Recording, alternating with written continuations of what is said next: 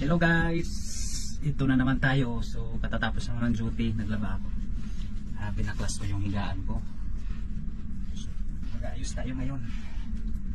Mag-aayos ng higaan. Wala magawa sa kabina. Ayusin muna natin guys higaan natin para mahulog kayo maaga. Pahinga, nasa kagod. Buhay siman. Patungan ko na kasama ko.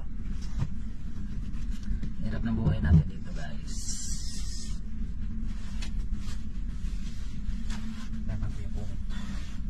Kailangan natin ng makapal na kumot guys kasi sobrang lamig dito. Ayan.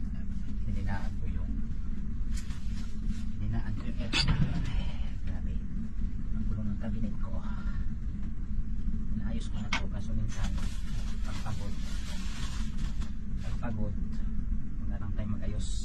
diretso na sa laksa guys. Napagod kaya magulo.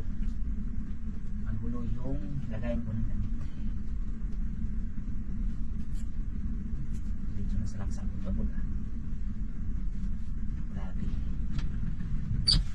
Parang bilis na ng oras pag tapos yung duty